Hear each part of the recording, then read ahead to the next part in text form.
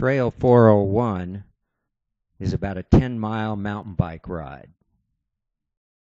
I started the ride at Copper Creek Trailhead.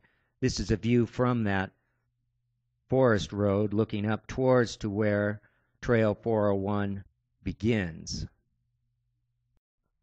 The ride up Gothic Road is about five miles and passes through some lovely fields of wildflowers. Down there on the left is Emerald Lake.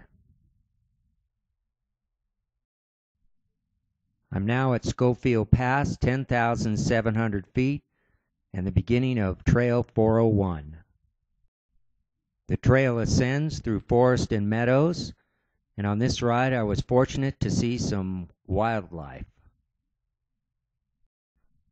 As I near the top of Trail 401, I'm rewarded with a view of one of the maroon bells off there in the distance. And now we're at the top with great views of mountains all around. From here, it's pretty much downhill all the way. Trail 401 is probably the most famous and I must say popular trails in Crested Butte, and it's for a good reason. This is a classic ride with smooth, fast single track, spectacular views, and as you'll see along this video, lots of tall wildflowers. On this portion of the ride, there are a few steep and sharp hairpin turns that need to be navigated.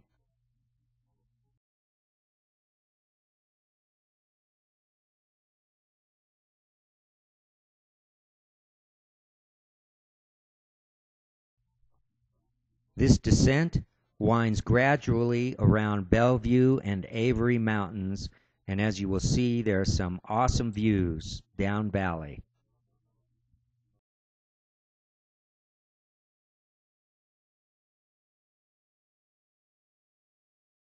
Off in the distance on the trail, you see a couple of mountain bikers.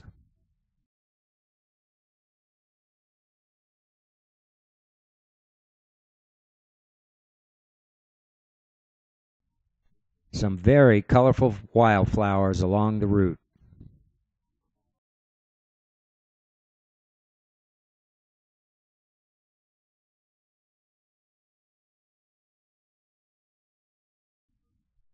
I'm getting near the end of the first part of Trail 401.